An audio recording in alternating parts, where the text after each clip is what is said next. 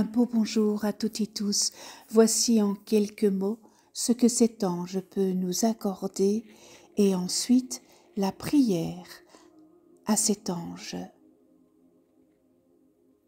L'ange numéro 52, Immamia. Cet ange, Immamia, vous aidera à vous retourner sur votre route, observer, analyser et comprendre les erreurs du passé pour devenir une meilleure personne. Il vous aidera à transformer vos douleurs et erreurs du passé, à vous en servir pour votre développement personnel. À noter qu'il était également associé à la liberté de la délivrance. Il peut vous venir en aide pour vous libérer d'une situation toxique ou vous éloigner d'une personne qui vous oppresse et vous contraint.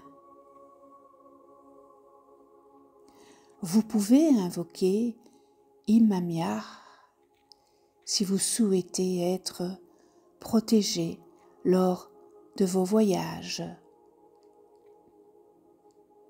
Il vous aide également à supporter vos adversaires avec une grande patience. Demander pardon et reconnaître ses fautes est aussi une tâche beaucoup plus facile à réaliser grâce à Immamia. Cet ange gardien travaille à transformer la haine en amour, ce qui vous rend dévoué, idéaliste ingénieux et perfectionniste.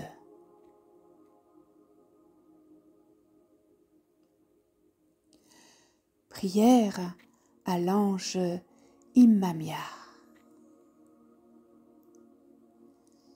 Cher ange Immamia, le cœur lourd de peine et de culpabilité je t'appelle aujourd'hui.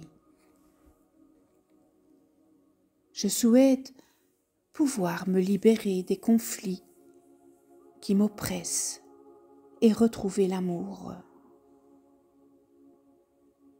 Permets-moi de me libérer de mon karma, d'apaiser les troubles qui noircissent l'horizon.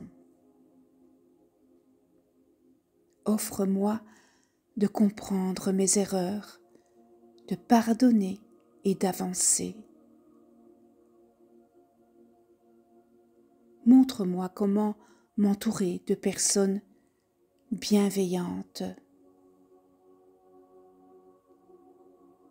Pardonne mes erreurs afin que je puisse me pardonner. Je veux construire pour moi et pour mes proches, pour tous, un nouveau paradis.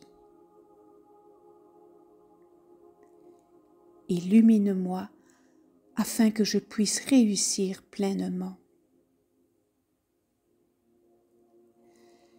Merci avec toute ma gratitude et mon amour.